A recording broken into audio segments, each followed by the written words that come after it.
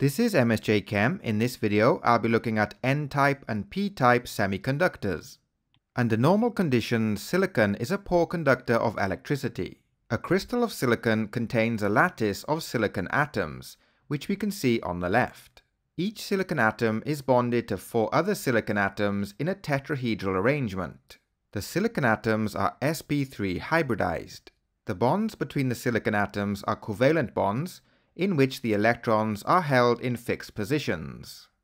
Therefore, because the electrons are not free to move within the lattice structure, under normal conditions silicon is a poor conductor of electricity.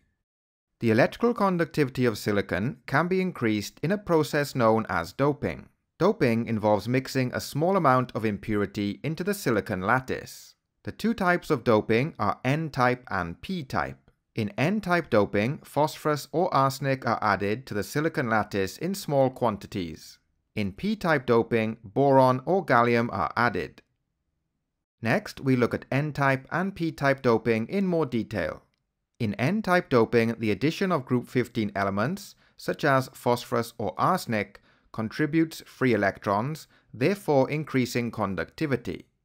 Here we can see the lattice of silicon atoms with the addition of a phosphorus atom. Because phosphorus has 5 valence electrons, we end up with a free electron in the lattice structure. This extra electron is free to move within the lattice structure, making it a better conductor than pure silicon. In p-type doping, the addition of group 13 elements, such as boron or gallium, creates a deficiency in valence electrons.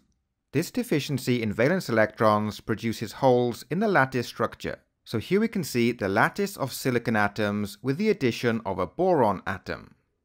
Boron only has three valence electrons, which is one less than a silicon atom. This produces a hole in the lattice structure. When a free electron moves into this hole, it creates a new hole where the electron was formerly located. The formation of holes increases the electrical conductivity when compared to pure silicon.